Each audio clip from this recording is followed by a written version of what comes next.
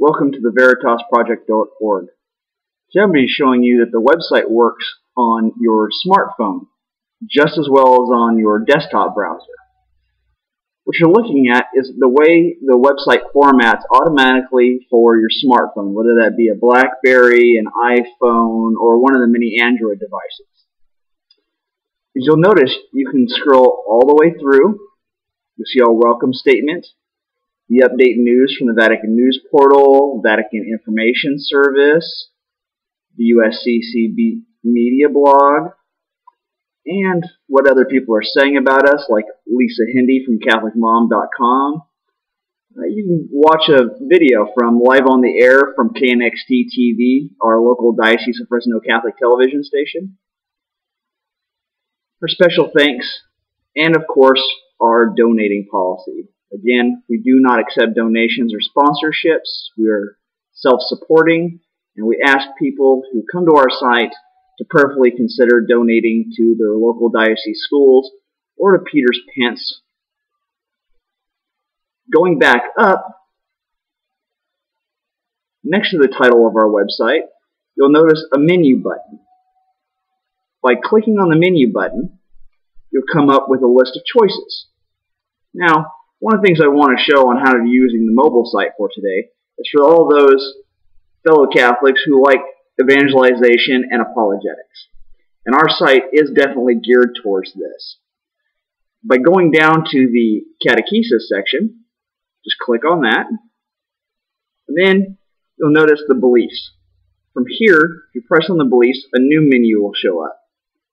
From here, you can select a whole different amount of topics to look from.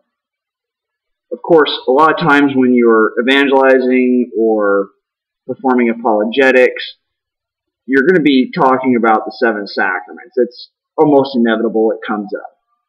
From here, and clicking on the seven sacraments menu, you have the option of looking at the seven sacraments just like you would on the desktop model. But in this form, you can see its touch interface, and you can see Scripture and early church fathers. So let's try confirmation with the early church fathers. And then you're going to click on that to confirm it. And then you'll also notice that we still have the Google Translate tool available, so it can be translated into different languages if you're a, a non-native English speaker, or if it's easier for the uh, other person that you're speaking with to read in a different language. And by scrolling down the page, you'll notice the quote from the early church father, say this first one, by Augustine. And then again, you can always tap on the early church father's name and it will take you to the Catholic Encyclopedia's uh, article entry on that early church father. Or at the bottom of the quotation, you can click on uh, the citation and it will take you to that work by that early church father on the newadvent.org Catholic Encyclopedia website. Something else that's neat on all of these pages that deal with the seven sacraments, and some of our other pages too, is you'll notice that once you go through the list of the different uh, quotations, citations, you'll notice that we also provide links, additional links to help you with this.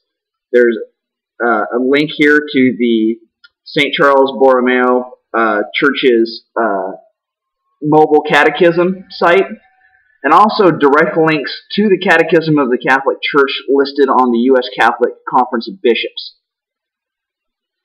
website, and then also pertinent links to the Code of Canon Law on the Vatican's website, and then to help explicate your position a little bit more, links to uh, the Catholic Encyclopedia at newadvent.org on topics related to the main topic of the page.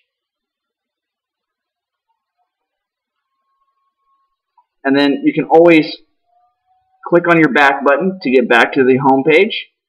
And again, by clicking on the menu button, found at the top of the home page and all the other pages will bring up the different sections. So you can always go to resources and check out all the different links to the different resources that are uh, provided here on the website.